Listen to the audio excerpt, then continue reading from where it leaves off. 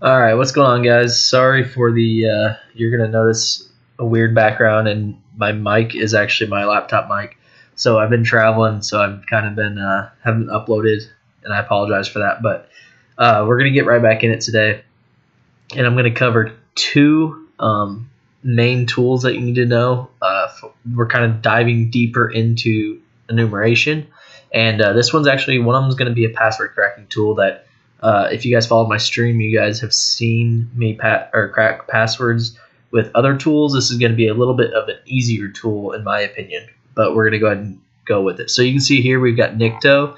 If you've never heard of Nikto, um, it's basically a web penetration testing tool. So we're going to go ahead and go over here. I did not mean to name that. So here I've got Nikto TAC H. And you're going to see that's going to give you, it's your, your like help command, right?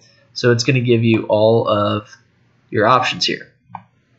So this tool takes a long time. Both these tools I'm going to show you take a long time to run typically. So that's why uh, I already ran the tools for you and I'm just going to explain them a little bit and then I'll show you the results. So, excuse me. So you can see here this TAC CG ID plus it does if you do all it scans for all the directories okay so that's one of the main ones you're going to use it takes a long time. Keep that in mind. Um, and then you're going to see here you can turn off the outputs so that you can run it in the background, things like that. If you want to see the errors, if you want to see everything that's actually saying. So there's a lot of stuff going on in the background that you're not seeing. If you want to look at it all in case you um, are interested, you can do that. A verbose output will do that for you. Um, you can see it's you can have it check database. Um, you can have it check um, evasion. You can have it do all kinds of stuff. But the one we actually ran today, and I'll show it to you down here, is the uh, where's that? The tuning. So we did the, I believe it's tuning. Let me make sure here. Yep. So tuning X. So we did tuning, and then we added this X reverse tuning. So that includes all except for specified. So it includes everything unless I specify it not to. So basically, we just did everything, which is why it took so long. Um, but basically what, what we did is I'll show you the output here. We ran this on scanmeinmap.org. If you guys have never been to that website, it's a website that InMap allows you to scan basically. And that's what we ran it on. And you can see it took a little bit, but we've got some interesting information here. So we've got, uh, let's see, just starting from the top, right? So you automatically you're getting the server and the version number. So that's pretty good. So right off the bat, we're getting good information, okay? And then it's saying here that uh, let's see the the header's not defined. Um, that basically just means that a, a web administrator didn't change the header. It's probably the default one, or um, it's not something specific. So sometimes you can get information from the header, and that's what it's saying. It's saying that it's possible. Um, let's see what else we got. We've got uncommon header, so TCN found with contents list. Okay, so it's saying here the Apache mod negotiation is enabled with multi-views, which allows attackers to easily brute force file names. So what that's basically telling us is that we could sit there and go, you know, nmap or scanme.nmap.org slash, you know, and it, some of them are actually in here, like images, icons, readme. You can just sit there and guess, is what it's telling you, and you're going to be able to find those files, is what what it's saying. Um, it's also saying that your typical um, index.html is found. So it's probably the default file structure is what they're saying. So you can, again, guess a lot of the files. So you're getting a lot of information here. Um, allowed HTTP methods. So uh, most HTTP is going to allow you to get, right? Because that's asking for the request to initiate the handshake. So obviously it's going to allow it, but it's just telling you that it's going, these are the commands that it's allowing, okay? Now here's the interesting stuff. The OSVDB, um, you got images directory indexing found. So it actually found this directory and it found this directory. Now the reason this is interesting, because that's an Apache default file, that tells you that whoever administrated this website probably didn't do a lot of security. They probably left a lot of defaults, which kind of gives you a heads up on what you're looking at. And then at the same time, what it tells you is you can actually, with these, these are directories. You can actually run that directory command that is up here that we showed you. Where's it at? The CGI DIRS. and try and scan for directories because you're it's showing that directories are available and it's finding them, but this isn't a directory scan. So it's doing something a little different, but it's finding directories. So you might want to run a full directory scan on this and kind of see what you come up with. Um, the other thing is you're going to see it says here Apache 2.4.7 is outdated. That's really important. Um, pretty much everyone that scans scanme.nmap.org knows it's outdated. Uh, you can look at the website and see that it's outdated. I mean, it's a super outdated website, but it's important to know because this actually tells you it's outdated, which means it's going to have vulnerabilities and they're going to be sitting somewhere. So um, typically, you're not going to see one that's that easy, but it does take a long time. Again, the Nmap, and this is a Kali or not Kali, a Linux only tool. Um, so this is something that you you do get default on Kali. It's not something that you have to install or download. If you don't have it, you can obviously app get it. Um, but you can see there's all kinds of in it. You can update the database. So as this tool or as time progresses, there's obviously gonna be more vulnerabilities. This tool will, if you update it, will continue to pull those um, from it. So you can see there's a bunch of different things that you can do. It's a very useful tool, and uh, I'll let you guys kind of mess with it. But be careful with this tool. The one thing I can tell you is be very careful with this tool. It is a very loud tool. Okay, what I mean by that is every intrusion detection system, every intrusion prevention system is going to catch you using this tool. Okay, it's not trying to hide you. It's trying to test all vulnerabilities on that. Okay, so keep that in mind. It's more for a uh, white white box test, not so much for a black box test. Okay, so we'll go ahead and minimize that. The next tool I'm going to show you is I'm going to have to show you the results first because you can't. I tried to open multiple accounts of it and it wouldn't let me. So this is called LoftCrack. You can just go to loftcrack.com. It's L0 PHT crack. Okay, and this is a tool that's really good.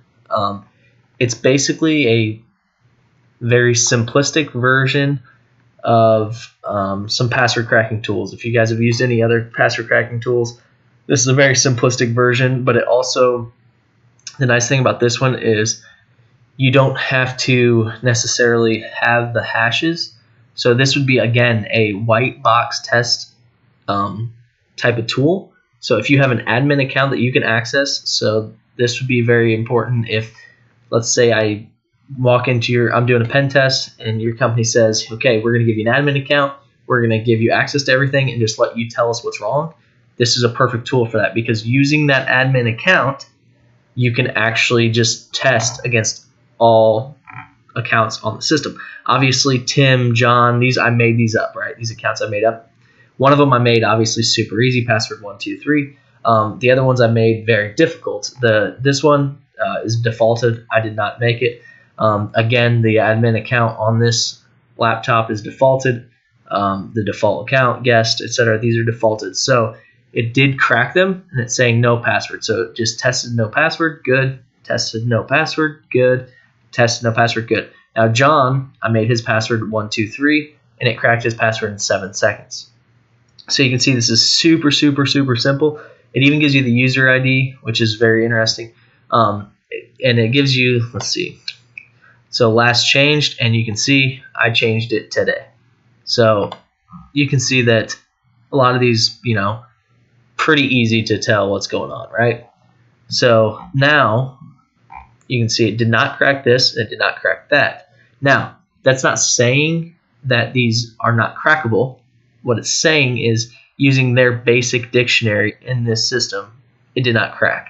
Now, anyone that is a password cracker or knows a lot about password cracking understands that this is just going to test for basic stuff for this scan specifically. Okay, and if you're a really good password cracker, you're going to do different techniques, okay, to get into it. Now, let me exit this and I'll show you guys how to set this up, okay? So we're going to not save it. Now we're going to go ahead and open LoftCrack. All right, so we just do proceed with trial, password auditing wizard, okay, introduction, yep, Windows, yep. Now this is where it gets interesting, right? You can use a remote machine, okay? So you can do this across a network. You just have to have an admin account. So if you have a like an admin account across the entire domain, you can do that, which is awesome. Okay, so this is where you can use specific credentials. So let's say you wanted to, they made you an account specifically for um, pen testing. You can use that. Uh, here I'm using the ones I'm logged in as. Now here's where it gets really interesting. Okay, so quick password audit. That's what I did. It just checks for passwords that you can find in a dictionary, common, uh, common like basically edits of that. Uh, you got common password audit. This checks for passwords they can find in the dictionary and you can see it keeps going, followed by one hour long brute force attack. So it's just gonna for an hour, it's just gonna try some things and see if it gets lucky. Uh, thorough, this method, same thing, plus six hours brute force. Now this one, this method starts with a 24 hour long brute force attack. Now keep in mind, it says it starts with that, okay? It's not, say it doesn't even waste its time on the dictionary. Keep that in mind. Then checks for passwords that couldn't or that you can find the dictionary, okay? So you notice that use of GPU enabled machine is required. Okay, so this could take several days to complete. Now, the reason that's so important is because if you're trying to use this on a very low end machine, such as a Raspberry Pi or something like that, you may want to pull, you may not want to use this tool. You may want to just pull those hashes, get them somewhere else, and then try and use this machine, okay? Because you can see here that number one, the word list here, that's actually not that big of a word list, surprisingly, okay? And then you can see it's going to do some permutations, so it's just going to change a couple of things on it, but it's not going to be anything crazy. It's like the simple rock rocku.txt, right, for Linux. It's not going to be anything insane. But with that strong password audit, a 24 hour brute force attack with a good machine, you can really do some, some good um, brute force. But at the end of the day, you can brute force something. If it's a good password, you can brute force it for years and it may never find it. So keep that in mind. Don't think this is an end all be all tool. There's um, a lot more to password cracking, but this is a great auditing tool. This is a great tool to just go, oh, you've got 500 users. Let me run it, see if I get anything. If I get 200 that have simple, simple passwords, okay, number one, obviously I can get in their accounts because now I have their password. But number two, you may need to start training your, your guys, you know, better. So once you do quick password audit next, now I'm not going to um, start it, but you can see you can create a report. Now that's important because when you go for a pen test, as you guys know, you have to show this stuff, right? You can't just go to a pen or after a pen test and go to someone and say, ah, you guys need better passwords. No, you've got to say, hey, look, here's the problem. Here's all the passwords I cracked in a matter of 24 hours, right? Here's something I did. Like you've got to be able to show that, right? So display passwords when audited. That's pretty uh, common. Uh, but the reason you may want to hide that is like, let's say uh, this was a live machine and there's people around or it's I'm working somewhere where I don't want to be seen. As far as I don't think everyone else should be able to see this information, you can hide it so it doesn't pop up. Same thing with hashes. You can hide the hashes if you needed to. Uh, again, if you have permission and you're in a closed area like an office or something, you'd be fine. But keep that in mind, guys. Uh, Loftcrack's a very good tool. What I recommend you doing to mess around with it a little bit is actually going on your computer and creating some accounts. And when you create those accounts, go through, make some easy passwords, some medium passwords, and some very difficult passwords, and run that 24-hour scan and see what it finds. See if you, if it catches all of them, if it only catches some. See what the complexity is, and you, then you'll kind of start to understand a little bit of why the people's websites and people's uh, different systems and stuff require some extreme complex passwords. Um, and, and you'll kind of get the gist of why, because a tool that takes 24 hours can hack some serious passwords. So keep that in mind, guys. Those are the tool, tool, two tools I want to show you today. Um, again, I'm traveling for work, so I know it's a pain in the butt that I have to use this mic and I have to use this webcam and I have to use this background and everything but it is what it is. I still want to get the videos for you guys, and I still want to make it happen. So that's it, guys. Let me know what you guys think. And uh, once again, like and subscribe.